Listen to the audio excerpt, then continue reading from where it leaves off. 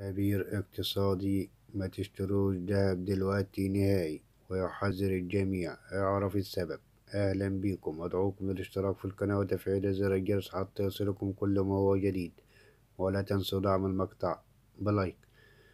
قال الدكتور محمد العرفي خبير الاستثمار في الذهب أن الاقتصاد شهد خلال العام الجاري 2022 العديد من الأحداث التي أثرت عليه بشكل كبير إضافة إلى حركات عديدة لعدد كبير من قطاعات الادخار النقدي كالذهب والدولار. وأضاف أن الاقتصاد هذا العام يحتاج إلى معادلة لفهم ومعرفة أفضل مجال للاستثمار فيه ماذا يعني رفع سعر الفائدة؟ خبير يوضح وأشار إلى أنه لفهم الخطوة الأولى في هذه المعادلة لابد من معرفة معنى رفع الفائدة على الدولار عالميا وأثره على قطاعات الادخار ورفع الفائدة على الدولار عالميا يعني زيادة الفائدة على الدولار.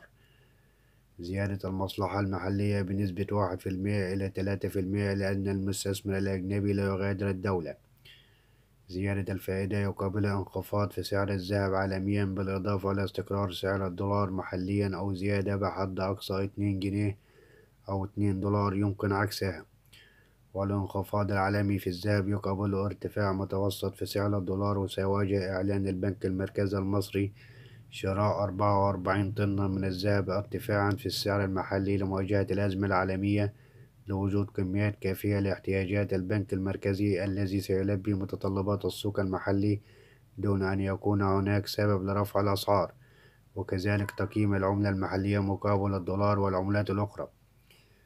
وقال أنه ستنخفض أسعار الذهب في الفترة القادمة وأوضح أن الوقت الحالي غير مناسب لشراء الذهب نظرا لارتفاع السعر وهو أكثر ملائمة للبيع خاصة أن الأسعار ستنخفض خلال الفترة المقبلة لذا سيكون من الأفضل الشراء. وأشار إلى أن قرار البنك المركزي بعدم استيراد أي سلعة بدولار مجهول المصدر أو تم شراؤها من أي بورصة أو شراؤها من السوق السوداء جعل استيراد الدولار بلا قيمة. وهذا إجراء قوي لخفض القيمة للدولار مقابل الجنيه.